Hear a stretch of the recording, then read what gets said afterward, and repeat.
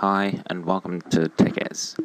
Um, in this video I'm going to show you how to create a Windows 2008 web server so you can host your Joomla websites, your WordPress blogs, pretty much anything you want.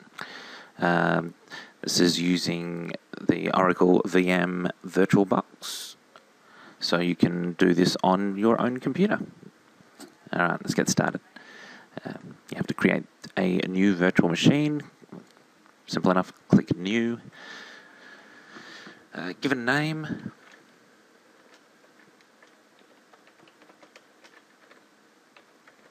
Now, if your name has got uh, you know, Windows or Mac or something in it, it'll automatically detect the uh, it'll automatically detect that and take a guess at what your operating system is. Uh, so it is Microsoft Windows, but for this one we want to choose Windows 2008 64-bit. Uh, Click Next. Now it suggests uh, a minimum of 1024 meg. Next. A new hard disk, since this is a new machine and it'll go through the new disk wizard. Now, the difference here between dynamically expanding storage and fixed is that if you tell it to create a 20 gig uh, disk with dynamically expanding storage, it'll start off much smaller and it will be, uh, it'll just use up as much disk space as the disk grows. Uh, if you choose fixed storage, it'll start off at 20 gig. So there's 20 gig. Finish.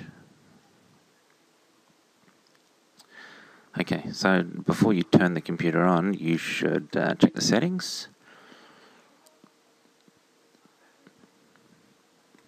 Under System, you'll want to change the boot order. So I like to have the CD-ROM or DVD booting first, then the hard disk.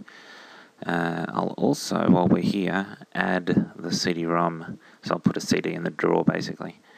Uh,